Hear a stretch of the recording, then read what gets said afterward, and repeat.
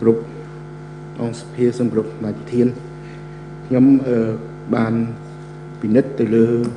អ្វីដែលជាសេចក្តីខ្លឹមសារនៃកិច្ចព្រមព្រៀងដែលយើងត្រូវពិភាក្សា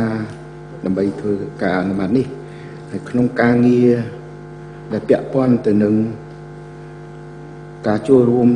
ក្នុងអនុសញ្ញាស្ដីពីការផ្ដល់ព័ត៌មាន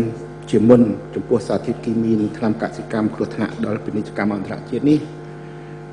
យើងដឹងហើយថាសភាក៏បានអនុម័តកន្លងទៅស្ដីពីច្បាប់គ្រប់គ្រងថ្នាំកសិកម្មនិងជីកសិកម្មនឹងរួចទៅហើយដែរក្នុង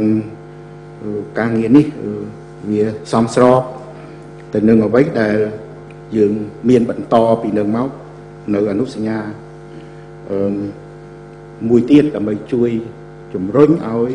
ការអនុវត្តរបស់យើងនោះមានប្រសិទ្ធភាពដូច្នេះយើងយល់ថាវាជាការងារមួយប្រសើរក្នុងការមានការអនុម័តបន្ថែមនៅអនុសញ្ញាដែលយើងនឹងធ្វើការពិនិត្យនិងអនុម័តបន្តិចទៀតនេះនៅក្នុងខ្លឹមសារដែលនៃសេចក្តីថ្លែងហេតុដែលបានផ្ញើមក ជូនរដ្ឋសភានេះយើងបានពិនិត្យទៅលើគោលការណ៍ដែលបញ្ជាក់អំពីផលប្រយោជន៍នៃអនុសញ្ញានេះដោយបានបង្ហាញថាវានឹងអាចជួយការពារដល់សុខភាពមនុស្សសត្វនិងបរិស្ថានការដែលនឹងនាំទៅដល់ការផ្ដល់ព័ត៌មានការផ្ដល់ព័ត៌មានពីពីពីអង្គការអន្តរជាតិឲ្យដឹងជាមុននៅប្រភេទ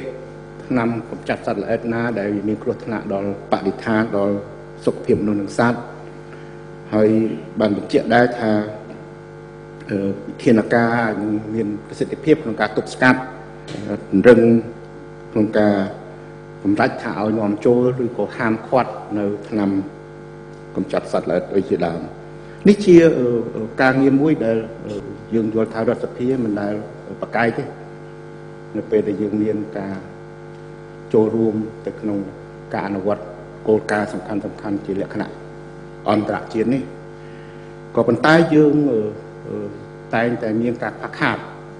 ក្នុងការអនុវត្តការចូលទៅក្នុងការងារអន្តរជាតិវាជាការងារមួយ ការអនុវត្តច្បាប់ក្នុងស្រុកដែលមានជាធរមានហើយនឹងការអនុវត្តកិច្ចព្រមព្រៀងអន្តរជាតិនឹងជារឿងមួយផ្សេងទៀតដែលយើងសង្កេតពីទូទៅ មានការខ្វះខាត មិនមិនបានអនុវត្តត្រឹមត្រូវទេដូចជាទីហោនៅក្នុងការដែលបញ្ជាក់អំពីច្បាប់ស្តីពីការគ្រប់គ្រងថ្នាំកសិកម្មនិងជីកសិកម្មជាឧទាហរណ៍បើយើងពិនិត្យទៅតាមទីផ្សារយើងនៅតែឃើញមានថ្នាំកម្ចាត់សត្វល្អិតជាច្រើនប្រភេទដែលមិនមានការសរសេរជាភាសាជាតិយើងដើម្បីធានាឲ្យអ្នកយកទៅប្រើនោះយល់ដឹងអំពីការប្រើប្រាស់នៅថ្នាំកម្ចាត់សត្វល្អិតទាំងនោះទេ ដូច្នេះវាឃើញថាវាមិនស៊ីគ្នានៅក្នុងការអនុវត្តប្រហែលជាក្រសួងមាន សមត្ថកិច្ចធ្វើជាអ្នកសម្រេចឲ្យនាំចូលមិនឲ្យទៅពេលដែលដើរមន្ត្រីដើរទៅតាមទីផ្សារទៅ ខ្លះក៏យកលាក់ទុកទៅឬក៏ខ្លះដល់កម្រៃដល់មន្ត្រីកសិកម្មទទួលខុសត្រូវវិស័យនោះទៅក៏អាចចិត្តតែនាំចូលមកយ៉ាងម៉េចខ្ញុំមិនដឹងប៉ុន្តែថា6ពីខែមករាមកដល់ពេលនេះយើងឃើញនៅ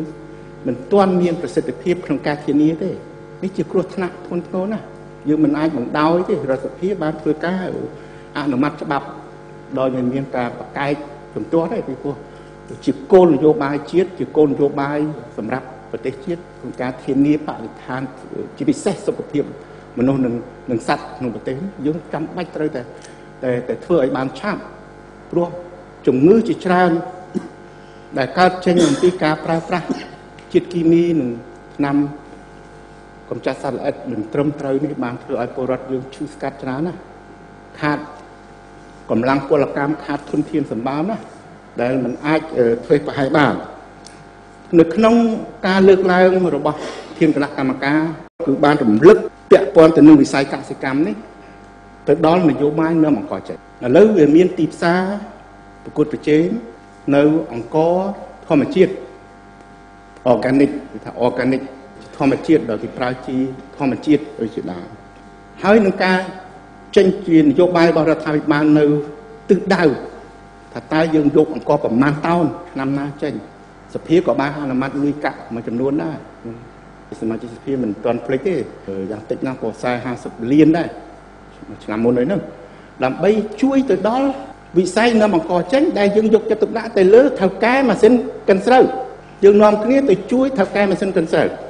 ដើម្បីឲ្យគាត់ទិញម៉ាស៊ីនល្អកិនស្រូវបានរូនដើម្បីនឹងដឹកនាំចេញទៅប៉ុន្តែយើងបានភ្លេច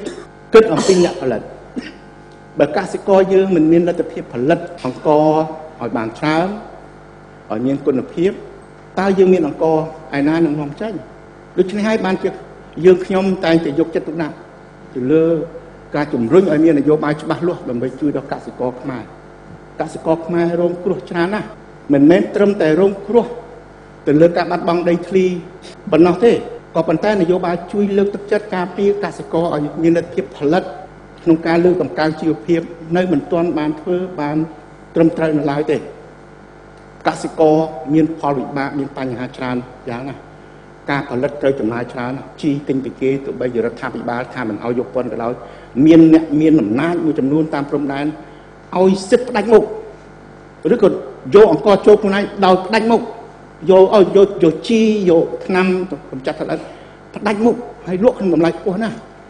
ហើយយើងទៅខេត្តបៃលិនជាឧទាហរណ៍ស្រាប់ឃើញជាក់ស្ដែងឬនឹងទៅជាសំបីតែមកទិញផលិតផលកសិកម្មនៅក្នុងតំបន់ព្រំដែនហ្នឹងក៏មានអ្នកការផ្ដាច់មុខទៀតធ្វើឲ្យកសិករបាត់លទ្ធភាពផលិតប្រទេសកម្ពុជានឹងទទួលរងធ្ងន់ធ្ងរថែមទៀតនៅឆ្នាំ2015ក្នុងការអនុវត្តនយោបាយរបស់អាស៊ាន នយោបាយទីផ្សារតែមួយហៅថា Alta នោះតាំងតែពីយើងគ្រូខ្ញុំធ្លាប់នៅក្នុងគណៈកម្មការទី9ជាមួយនឹងលោកជំទាវនៅក្នុងគណៈកម្មការកាលនោះធ្លាប់ធ្វើការគិតគូរជំរុញឲ្យយើងរៀបចំខ្លួនដើម្បីធានា ការប្រណាំងប្រជែងក្នុងការផលិតនេះយើងនៅតែមានការលំបាកកសិករយើងនៅតែមានការលំបាកការផលិតរបស់គាត់ចំណាយច្រើនណាស់បើប្រៀបធៀបនឹងប្រទេសជិតខាងគឺចំណាយស្ទើរតែទ្វេដង នេះយើងមិនទាន់និយាយអំពីការប្រើប្រាស់ទឹកដែលប្រទេសជិតខាងគេមានលទ្ធភាពបីជាយើងមាននយោបាយឲ្យមានការធ្វើទំនប់បន្លាយប៉ុន្តែតែបន្លាយធំធំបន្លាយតូចដើម្បីយកទឹកចូលស្រែឲ្យមានប្រសិទ្ធភាពនោះហើយបានគ្រប់គ្រាន់នៅមិនទាន់អនុវត្តទេហើយកសិករខ្មែរភាគច្រើននៅតែធ្វើស្រែបានតែម្ដងក្នុងមួយឆ្នាំហើយផលិតផលដែលបានមកនោះដូចខ្ញុំបានលើកជាច្រើនដងហើយ អ្នកបច្ចេកទេសគេបញ្យល់អំពីការដាំស្រូវដែលអាចនឹងបានផលគឺយើងមិនបានបណ្ដោះបណ្ដាលជួយអប់រំគ្នាឲ្យដល់លទ្ធភាពដែលគាត់អាចនឹងប្រើប្រាស់បច្ចេកទេសថ្មីផ្លាស់ប្ដូរការផលិតឲ្យបានទាន់ពេលវេលាហើយតម្លៃនៃចំណាយនេះធ្ងន់ធ្ងរណាស់ការដឹកជញ្ជូនខ្ចីលុយគេក៏ការប្រាក់គ្មានយន្តការនៃការផ្ដល់ប្រាក់កម្ចីទៅដល់កសិករយើងដែល មានប្រសិទ្ធភាពហើយគាត់អាចខ្ចីក្នុងការប្រាក់ថោកដើម្បីគាត់បានផលមកអាចសងគេវិញឲ្យសមល្មមដែលគាត់សល់លុយកាក់ខ្លះសម្រាប់ទ្រទ្រង់ជីវិតក៏មិនទាន់មានយន្តការមានប្រសិទ្ធភាពដែរមានធនាគារមួយចំនួនដែលប្រកាសថាខ្លួនជាធនាគារម៉ាក្រូសេដ្ឋកិច្ចអីហ្នឹងភាគច្រើននៅតែការប្រាក់30ផ្លាយភាគរយក្នុងមួយឆ្នាំដែលធ្ងន់ធ្ងរប្រទេសដែលគេជួយដល់កសិករគេអត់ឲ្យកសិករគេសងការប្រាក់ដ៏សម្បើមបែបនេះទេដូច្នេះយើងនៅមានការខ្វះខាតក្នុងការជួយជំរុញ ការពារនិងផ្ដល់ការធានាដល់កសិករយើងនៅឆ្នាំ2015ពេលដែលគេលើករបាំងសេដ្ឋកិច្ចទាំងស្រុងបើយើងមិនមានសមត្ថភាពនិងបច្ចេកទេសក្នុងការផលិតប្រកួតប្រជែងនឹងគេទេយើងនឹងបាត់បង់យើងមិនបាត់បង់បញ្ហានៅការផលិតនេះធ្ងន់ធ្ងរណាការប្រកួតប្រជែងធ្ងន់ធ្ងរណានៅក្នុងរបាយការណ៍របស់ក្រសួងពាណិជ្ជកម្មកាលពីដើមឆ្នាំនេះក្រសួងពាណិជ្ជកម្មបានប្រកាសនៅក្នុងឯកសាររបស់ខ្លួនថាជញ្ជីងពាណិជ្ជកម្មរបស់ប្រទេសកម្ពុជាអនុភាព នៃនៃជញ្ជីងពាណិជ្ជកម្មបានន័យថាយើងនាំនាំចូលនិងនាំចេញយើងគេដកដូរគ្នាទៅតើយើងបើយើងនាំចូលប្រមាណពាន់លានដោយនយោបាយក្រសួងពាណិជ្ជកម្មនោះចាតែប្រកាសខំទិញវ៉ាន់ពីវៀតណាមឲ្យបាន3000លានប៉ុន្តែមិនដែលបាននិយាយថាតើយើងមានទិសដៅនាំអីវ៉ាន់ចេញទៅវៀតណាមឲ្យបានប្រមាណលានឲ្យច្បាស់លាស់ទេគឺតែខំយកពីចិនប៉ុណ្ណេះប៉ុណ្ណេះលានយកពីថៃប៉ុណ្ណេះលានប៉ុន្តែយើងធ្វើទៅលក់ឲ្យគេវិញប្រមាណ ទីបំផុតយើងធ្វើរបាយការណ៍ថាអនុភាពជញ្ជីងពាណិជ្ជកម្មនៅឆ្នាំ2011គឺមានរហូតដល់1.73ពាន់លានដុល្លារអានេះយើងនិយាយតែពីចំនួនដែលផ្លាស់ប្ដូរទំនិញផ្លូវការទេអាដែលរត់ពន្ធតាមច្រករបៀងរាប់ពាន់លានទៀតយើងអត់ទាន់បានគិតក្នុងបញ្ជីទេអាចឡើងដល់រាប់2000ជាងលានដុល្លារក្នុងមួយឆ្នាំនេះយើងអត់ទាន់បាននេះជាបញ្ហាដែលត្រូវតែយកចិត្តទុកដាក់ក្រសួងកសិកម្មដែលមានវត្តមានថ្ងៃនេះក្នុងការ ការពារនៅច្បាប់ថ្ងៃនេះជាឱកាសដែលក្រសួងត្រូវតែពិចារណាឲ្យបានជ្រៅជ្រះទៅលើនយោបាយផ្ដល់សេវាទៅដល់កសិករ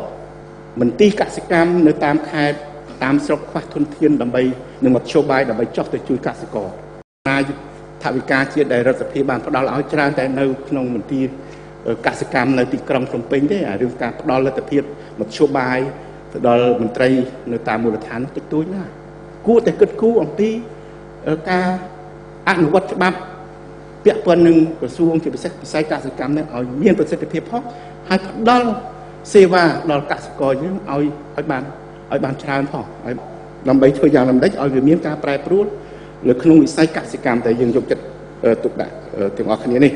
ដូច្នេះបើជាទូទៅយើងសង្កេតឃើញតែព័ត៌មាន ជាអកុសលពាក់ព័ន្ធទៅនឹងការផ្ដល់សម្បត្តិដីរាប់ម៉ឺនរាប់សែនហិកតា99ឆ្នាំហើយឥឡូវនេះរឿងព្រៃឡង់នោះព្រៃដីសម្បត្តិដែលដែលផ្ដល់ឲ្យក្រុមហ៊ុនរាប់លានហិកតានោះមួយចំនួនធំកាប់ឈើហើយដើរចោលទៅទុកចោលហ្នឹងខ្លះនឹងយកទៅកក់ក្នុងធនាគារយកលុយគេនោះយកមកមកចាយវាអស់ទៅហើយទុកចោលហ្នឹងរឿងអីក៏ព្រៃដែលនៅសល់រាប់ លាននឹងមិនមិនមិនទៅដាំទៅដល់ទៅទៅកាប់អីព្រៃឡង់ថែមទៀតបំផ្លាញព្រៃដែលយើងនៅសល់តិចតួចដូច្នេះក្រសួងកសិកម្មមិនមែននិយាយតែពីរឿងឆ្នាំកម្ចាត់សត្វល្អិតដើម្បីការពារបរិស្ថានទេត្រូវគិតគូរអំពីការបំផ្លាញព្រៃឈើនោះដែលកំពុងមាននៅក្នុងប្រទេសកម្ពុជាយើងផងហើយត្រូវពិនិត្យឲ្យបានម៉ត់ចត់ត្រឹមត្រូវដើម្បីធានាបរិស្ថាន និងផលប្រយោជន៍របស់សង្គមយើងសូមអរគុណ